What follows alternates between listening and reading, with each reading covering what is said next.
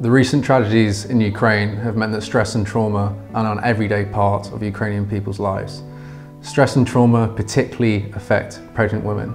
You see, in these times, premature birth can rise from anywhere from 10% to up to 23%. Being a pregnant woman in Ukraine at the moment must be an absolutely terrifying experience. Keeping a child in its thermal neutral zone is the very basis of good neonatal care. And to give some context, for every one degree a child loses, it can increase its chance mortality by up to 28%. These problems are usually solved with incubators. These are big, bulky, heavy bits of equipment that are difficult to use, difficult to maintain, expensive, and really difficult to get them to where they need to be.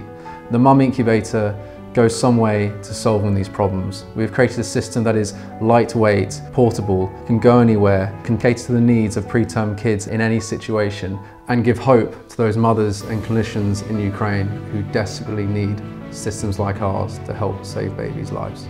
This has all been made possible because mOm has been generously funded by Jersey Overseas Aid, who have procured 26 incubator systems to go to Ukraine. mOm is partnering with international development company Crown Agents who are leading the emergency medical response into Ukraine, delivering much needed medical items and devices to the people that need them the most and saving lives. Crown Agents are ensuring the safe delivery of our incubators into Ukraine to the hospitals that desperately need them, so more babies' lives can be saved in this critical time. By next week, we already expect that our work together could save multiple babies' lives. When we have delivered the rest of our systems, we could be saving up to 50 babies' lives every single week.